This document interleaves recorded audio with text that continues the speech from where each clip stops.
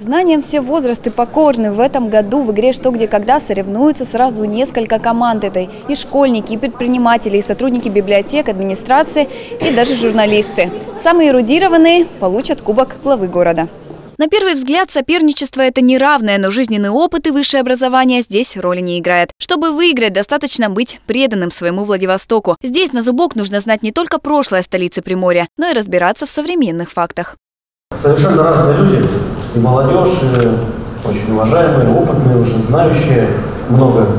Если кто-то выиграет и будет э, сильнее, чем наша команда, это опять же здорово, подтверждает, что город очень талантливых, умных людей. Ответственность на участниках лежит серьезная. Во-первых, игра юбилейная. Проводится уже в пятый раз. А во-вторых, турнир приурочили ко дню рождения у города. Так что, когда в такой праздник спрашивают о Владивостоке, просто нельзя ошибаться. Мы боимся не победить, потому что мы пришли побеждать. Готовились, прорабатывали вопросы прошлых лет, прорабатывали просто базу вопросов ЧГК, поднимали командный дух. Вряд ли кто-то найдется тот, кто скажет, что я знаю все о городе, про город или про любую тему. Наверное, какие-то аспекты нам знакомы. Надеемся сориентироваться по ситуации. Здесь э, более 50% людей в очках. Мы, естественно, серьезная команда.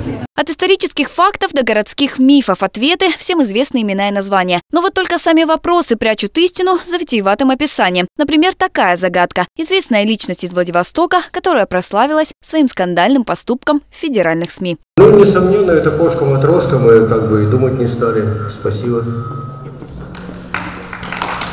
Я думаю, что эти слова мы и думать не, станут, не станут девизом сегодняшней игры. Даже эта кошка тоже часть нашей истории, пусть небольшая и несерьезная. Зато такие колоритные персонажи и создают облик города. Первое место, вот такой вот кубок главы города, получит только одна команда. Но по сути сегодня все из игры выйдут победителями. Ведь главный подарок на День города участники получили еще заочно. Это знания, которые можно использовать, множить их и делиться ими с другими горожанами. Наталья Ладудько, Александр Бартовщук. Новости на восьмом.